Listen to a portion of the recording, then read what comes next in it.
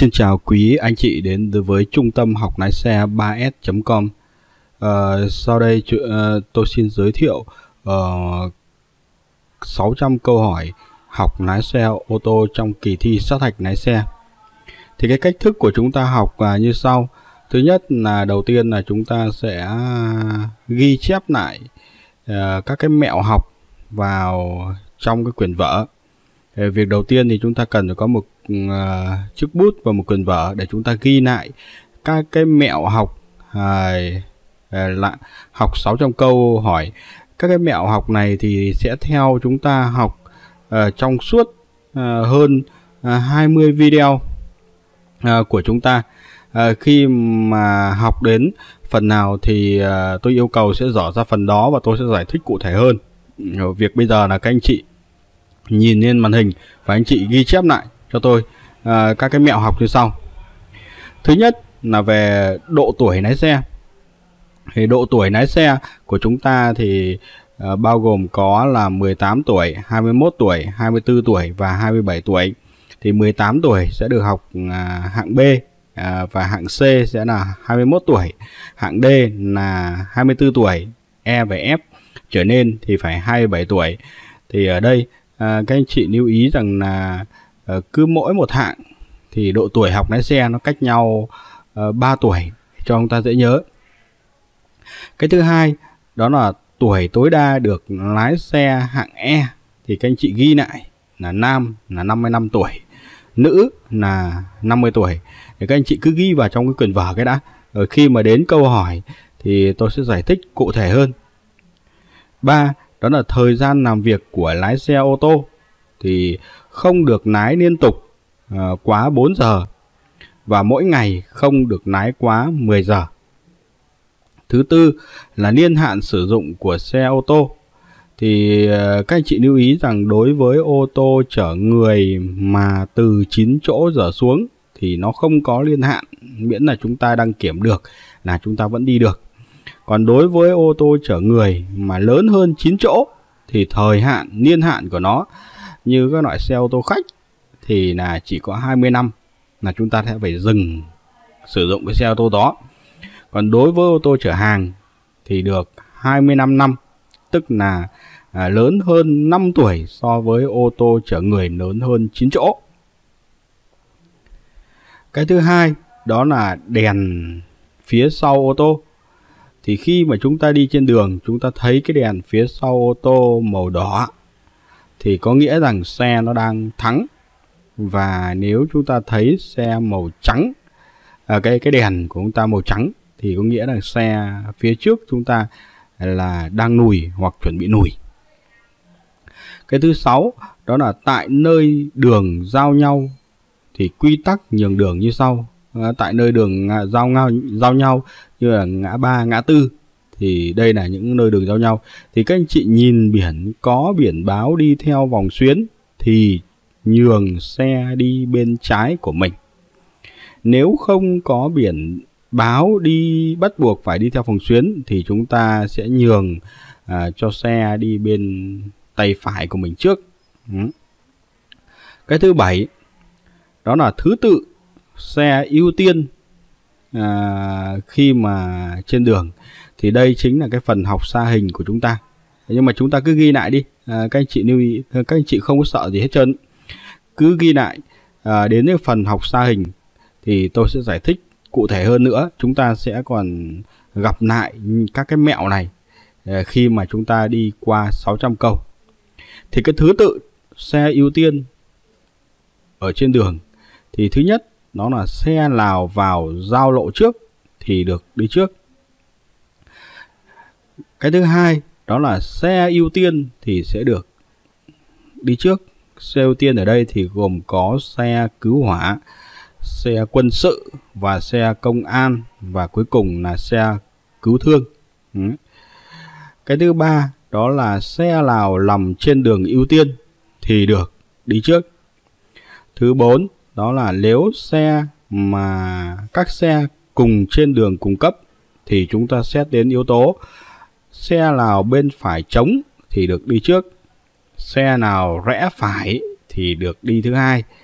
Xe nào đi thẳng thì được đi thứ ba. Và xe rẽ trái sẽ phải là xe đi cuối cùng.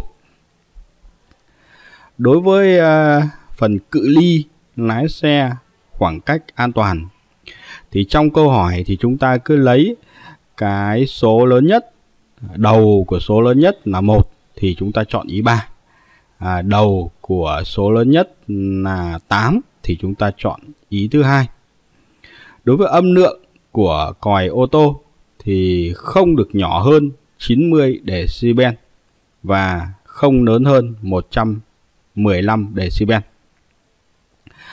Phần 9 là vạch kẻ đường.